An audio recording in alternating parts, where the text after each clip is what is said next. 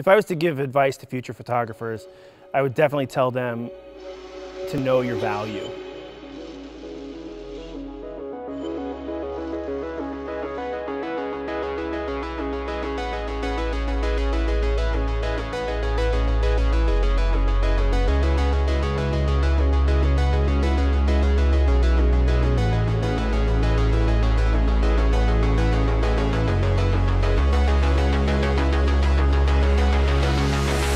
My name is Chad Dennis and I am an editorial portrait and commercial photographer based out of Atlantic Beach, Florida. It was about four years ago when I decided to become a full-time photographer. So I started in film and television and played that game for a while and was attracted to creating beautiful images that tell stories. So slowly over time, I shifted to full-time photography and I've been doing that full-time in the studio now for four years. A typical shoot consists of consulting with the clients beforehand.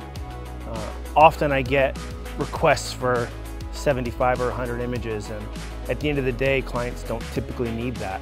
So we really work together to find the, the handful of images that they need that tell their story in the best way possible and then we deliver on that. My most memorable shoot would definitely have to be the 100 Portrait Project which dealt with the stigma associated with mental health. Um, I had over 100 portraits on display and it was, it was meant to create a way to tell my brother to not commit suicide, but um, my best friend ended up taking his own life about six months later, who was a part of the series. So that was hard, you know. It was meant to stop one brother from doing it and another brother did. Uh, but I know for a fact that, that it's affected a lot of people. If I could photograph anybody in the world, it would probably be people suffering from mental health issues. Um, I've done the first series. I would love to do a second series. Uh, find an organization to partner with, Wounded Warrior, for example. I'd love to bring vets into the fold.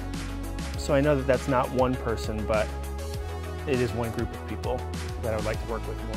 At the end of the day, photography is about telling stories for me. And for me, it's telling stories through faces.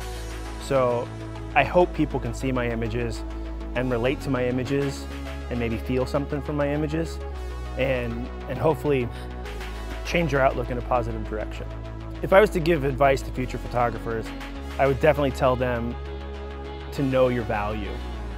There are so many people with cameras and cell phones and Costco specials and point and clicks that everyone is a photographer.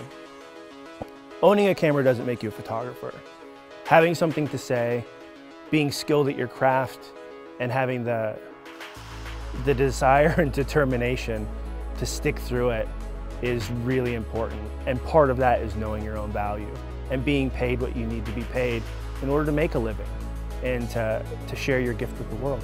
My name is Chad Dennis, and this is Five Questions.